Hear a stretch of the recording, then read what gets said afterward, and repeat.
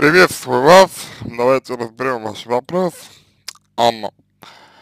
Итак, посоветуйте, пожалуйста, пишите вы, каким образом можно выявить свои слабые стороны, над которыми мне нужно работать. А, я думаю, что здесь, а, в контексте того, что вы описываете, слабой стороной является то, что мешает вам достичь ваших целей.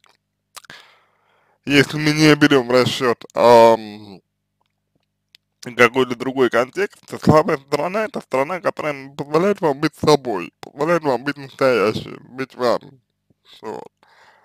Соответственно, слабые стороны проявляются там, где вы вынуждены напрягать волю, где вы вынуждены себя ломать, где вы вынуждены себя пересиливать, где вы вынуждены себя передавливать. То есть, условно говоря, где вы превозмогаете себя. Я хочу э, влиться в новый коллектив, пишите вы, адаптироваться и, и, и работать в одной организации в долгосрочной перспективе. А зачем? Понимаете, э, одно дело, если вам интересна профессия, в которой вы находитесь. И другое дело, если вы хотите это все э, для того, чтобы чувствовать себя, э, ну, скажем, э, нужной или не одинокой. То есть, когда в рабочую сферу а, при вносится а, что-то еще. Вообще говоря, ну, не относящееся к, собственно, рабочей сфере, да? Вот, поэтому вот мне кажется, э, на это а, нужно обратить внимание. Вот. Такое, такое. Ва ну, это важно на, на, на самом деле, как мне, как, как мне кажется. Дальше идем. А, так, я очень часто меняю работу. Но опять же, понимаете, если вы а, вот хотите то, что хотите, а, потому что часто меняете работу, то мне кажется, это не самая лучшая а, позиция, потому что как мне, как мне кажется, часто вы меняете работу, в силу страха, в силу тревоги, э, в силу, может быть, не очень хорошего понимания того, чем вы хотите заниматься. Вот. То есть, как бы, перемена работы часто это внутренний конфликт.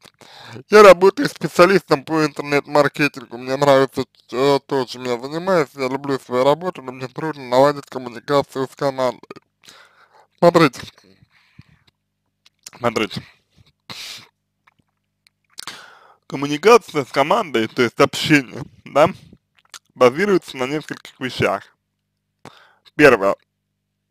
Это разделение труда. Чем занимаетесь вы, чем занимаются другие. В чем сильны вы, в чем сильны другие. Второе. Это общие цели. Нужно понимать, что общие цели э, именно в рабочей группе, Анна, очень важно пон э, понимать, что у вас не коллектив, а рабочая группа. А если будет э, возможность и желание, почитайте э, подробно, что такое коллектив и чем отличи, отличается от рабочей группы. Вы меня поймете, я сейчас не буду на этом останавливаться. Вот, но у вас не коллектив, а у вас рабочая группа. Вот.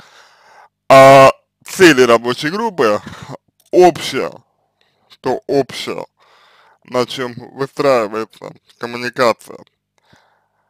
Это э, цели и задачи рабочей группы, интерес рабочей группы. Это может быть творческое, это может быть э, какое-то еще. А? Поэтому, э, поэтому эти два момента, момент, мом, момент интересов группы и ваш интерес надо бы со соотнести между собой, вот, и посмотреть, где есть точки пересечения. И коммуникация сразу пойдет легче. Вот. Ведь э, коммуникация, она бывает двух видов, да, она бывает э, такая ненаправленная, то есть она бывает такая, знаете, вот чисто, чисто на, знаете, как фристайл, да, вот когда, или там стендап, вот, когда человек вроде как придумывает шутки на ходу. Понятно, что это не так, но бывает, бывает. Вот у кого-то получается придумать хорошую шутку на ходу, а у кого-то нет. Мне кажется, что если у кого-то не получается, это, не значит, что это плохой человек, или что у него нет чувства юмора, или что он глупый. Это значит, что у него просто нет такой возможности, нет таких, таких способностей. Вот то же самое и здесь. Легче всего коммуникацию выстраивать, когда есть четкое, э, четкое прослеживание общих интересов. Дальше. А, сложность общения может возникать а, еще и потому, что у человека, например, у вас может быть низкая, низкая самооценка, то, о чем говорил мой коллега. А что здесь а, имеется в виду? А здесь имеется в виду а, то, что общаясь с людьми, а вы думаете о том, как они, как они вас оценят, как они к вам отнесутся, как они вас воспримут. То есть вы, вас волнует э, то, иными словами, как вы будете выглядеть. А, ну, как бы, э, вы думаете о том, а, как вы будете восприниматься людьми, вместо того, чтобы э, выражать лю людям то, что вам интересно. Вот. Страх оценки здесь имеет место быть. Почему? Потому что у вас же эта оценка негативная по отношению к себе. Почему негативная? Нег оценка негативная потому что есть э, требования к себе такие, которые, мягко говоря, не адекватны, которые, мягко говоря, не соответствуют вашим реальным возможностям и способностям.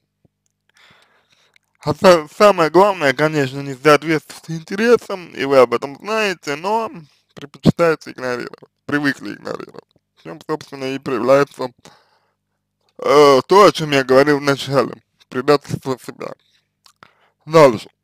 Я стараюсь понять, что от меня требуют, но делаю не совсем то, что от меня ожидают. Оно. А, я хочу, чтобы вы обратили внимание. То, что от вас требуют, и то, чего от вас ожидают, не одно и то же. Это первое, потому что требовать могут, могут э, по работе, ожи, ожидать могут э, успехов, каких-то вот прям, знаете, невероятных успехов от вас. Э, вам, э, вы обратите внимание, что э, пытаясь оправдывать ожидания других людей, вы можете очень быстро потерять себя. Я не говорю, что ожидания других людей не нужно оправдывать никогда, это, пожалуй, было бы неверно. Но на первом месте у вас что, ожидания других или ожидания свои? Ведь если у вас на первом месте ожидания других людей, то вы будете в какой-то степени от этих ожиданий зави зависеть. А насколько эти ожидания стабильны, насколько они постоянны, насколько они э, прочны, я бы сказал, очень важный момент. Я стараюсь задавать вопросы, уточнять и разбираться.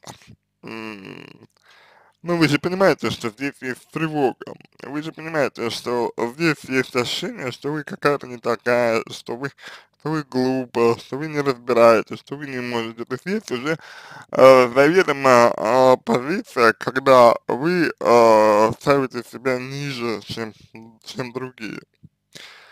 В итоге, после прохождения испытательного срока, работодатели стараются от меня избавиться.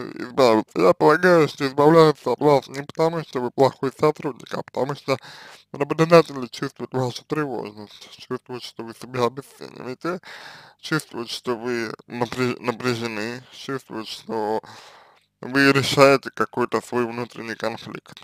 Вот. Понятно, что работодатели, скорее всего, это не, это не осознают и указывают другую причину, но мне кажется, что проблема, проблема в этом. Занимаясь вы только работой и реализовывая свое увлечение, я думаю, чтобы у вас было хорошо. А как вы воспринимаете то, что работодатели хотят от вас избавиться? Как вы воспринимаете то, что вы задаете вопросы, уточняете и разбираетесь? Как вы это воспринимаете? Два года назад я поменяла сферу деятельности, потому что не смогла адаптироваться в новых условиях после того, как организация, которая, в которой я работала, закрылась. Анна, ну, что значит не смогла э, адаптироваться? Знаете,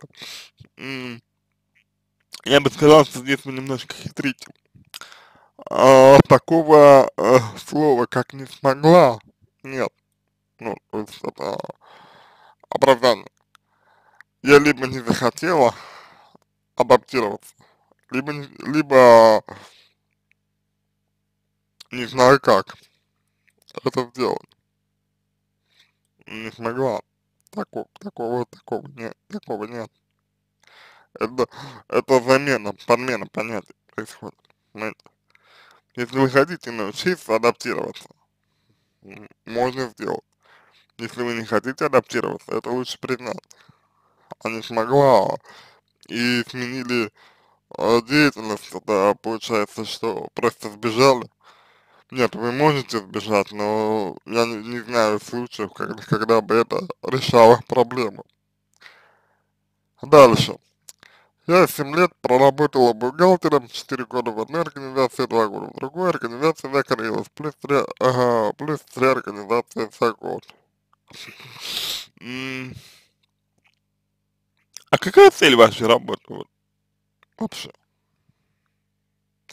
Какой ваш э, смысл в работе? Дальше прошла профпереподготовку, плюс полгода самостоятельного обучения и поиска работа. Зачем? Вот какое значение для вас имеет работа? В итоге сейчас я интернет-маркетолог со стажем один год. Один год обучения, полгода самостоятельной, самостоятельной работы и 7 лет работы в бухгалтерии и финансах. Аня, 29 лет, образование экономист.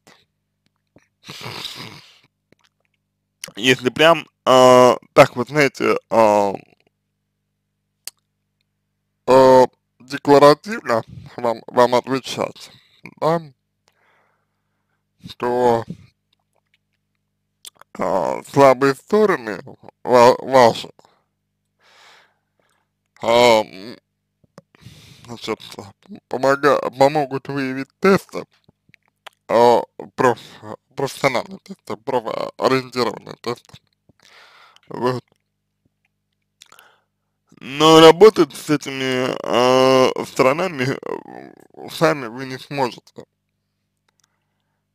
Для этого необходимо работать со специалистом, психотерапевтом, Поэтому мне кажется, что ваш вопрос, он э, поставлен несколько некорректно. Вот. Э, что касается моего мнения, то так же, как и мой коллега Кудряшов Игорь Леонидович, я отношусь э, к слабым сторонам амбивалентно, считаю, что слаб, э, как таковых слаб, слабых сторон у человека нет. Вот, но считаю, что существуют объективные э, препятствия на пути к э, тому, что человеку важно, и то, что в таком контексте воспринимается как слаб, слабая сторона. Но важно понимать, что очень мало в человеке такого, с чем действительно нужно именно, именно справляться и подавлять. Как правило, помогает наоборот, а, раскрытие этого, отказ от борьбы, принятие, выражение, умение использовать, умение обращаться и так далее. Ну вот. Мне, например, показалось, что вы такой достаточно душевный, теп теплый человек. При этом вы зажатый, стеснительный и так далее. Но что если эта теплота, что если эта душевность, она будет выражена другим людям? Подумайте об, об этом. На этом все. Я надеюсь, что помог вам. Желаю всего самого доброго и удачи. Буду благодарен за э, отклик по моему ответу. Это поможет вам начать работу над собой.